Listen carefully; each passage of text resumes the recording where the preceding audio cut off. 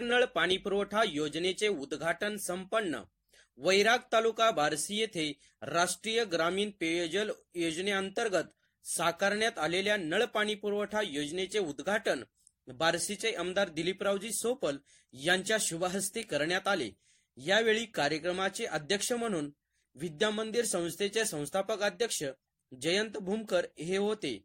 यावेळी प्रमुख पाहुणे म्हणून जिल्हा परिषद सदस्या रेखाताई भूमकर रेखा राऊत श्री- जिल्हा परिषद सदस्य श्रीमंत थोरात युवराज काटे यांच्यासह पाणी पुरवठा ग्रामीण पाणी पुरवठा अभियंता श्री कटकदोंड जीवन प्राधिकरणाचे श्री भांडेकर बार्शी उपविभागाचे उप अभियंता नलावडे आदीजण उपस्थित होते.